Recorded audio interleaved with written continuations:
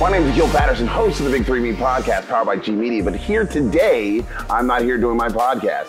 I'm here at the Futures uh, Futures Blockchain Crypto Conference here in Toronto, Canada, with Raine. Now, Raine, you've had a career.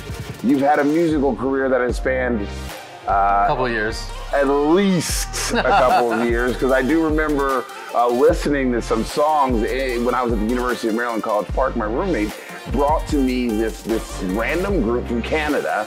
And then next thing you know, we're replaying how many times have you been? Oh, ah! Yeah, you thought I didn't know. Uh, yeah, I might be a big American football player, but I do know some music.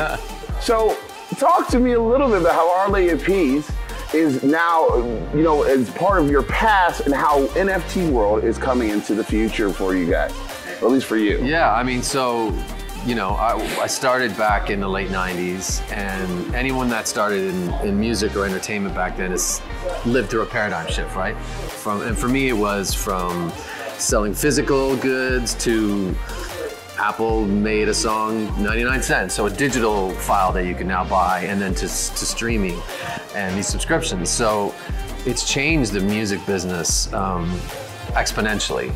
And I- look, as an artist, like straight up, not for the better. We've had revenue streams like literally taken away from us. And so what Web3 kind of offers is this next paradigm shift where I'm really excited to live through another one to where we can claw back some of not only the revenue, but something that's always lacked for me was that connection directly with fans. There's always, I always say there's there's always these, these kind of middle layer platforms, companies, people that control our relationship with fans or our audience. And Web3 and the transparency and all the good things that it promises kind of removes that middle layer. And that's an incredible thing to and it's not just about again not trying to monetize my audience but it's just having that direct connection. Now, you you brought up a very good point in which I actually like say think of like, hey, you lived through uh, LimeWire and Napster and people really stealing, legitimately stealing your work. Now reclaiming that work, reclaiming how your image is going to be seen in the future, is that is that also a big pull drive in? Like, hey, we can retake.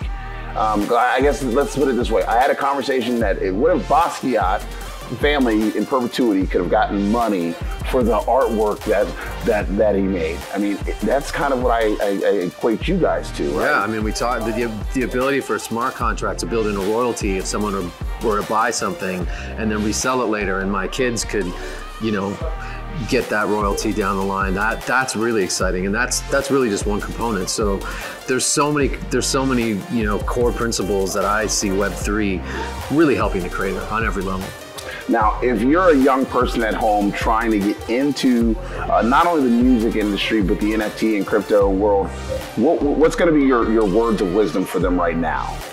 I mean, it, you know, I'll be honest, it, it, it takes a minute, and, and I hate that artists or creators have to be businessmen as well, because that's not what we're born to do, that using that right side of our brain. But now you have to kind of like have the, the critical and creative side work together, understand what Web3 is, understand blockchain. But if you make that investment now, especially as a new creator, it'll pay dividends off in the future. All right. Well, Raine, thank you so much for joining us here, and everyone at home, make sure that you, Raine. How do they get? Uh, how do they find out what you're up to next? Yeah, I have a platform we just launched called Drops with two R's. Uh, it is all about community building and, and owning your audience. So it's drops with two R's.com. All right, everybody. Thank you all again for joining us here today, Blockchain Futurist Conference here in Toronto, Canada. And as always, have a great day and a even better tomorrow.